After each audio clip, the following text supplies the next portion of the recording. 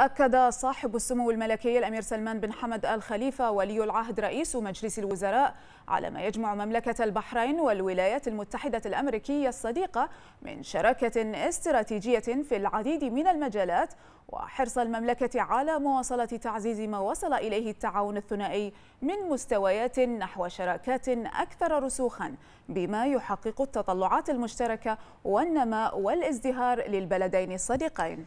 جاء ذلك لدى لقاء سموه حفظه الله في قصر الرفاع اليوم مجلس إدارة جمعية النساء الأمريكيات الجديد برئاسة السيدة إيمي ستروب.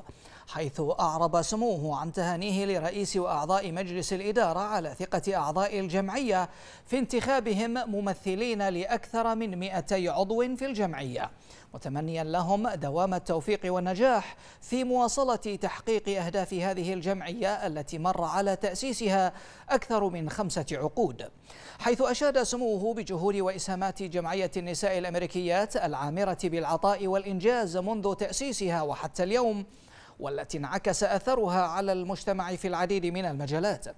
شاكرا لمجلس الإدارة وكافة أعضاء الجمعية هذه الروح الوثابة التي تضع نصب عينها مصلحة المجتمع وتعزيز أواصر المحبة بين أفراده عبر ما يتم تقديمه من دعم لهم.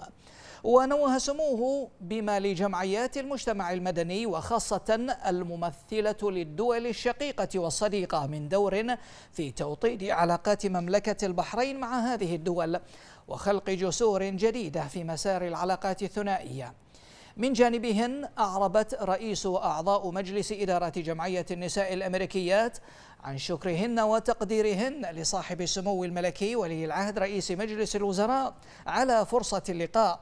وما حظي به مجلس الإدارة من حفاوة واستقبال.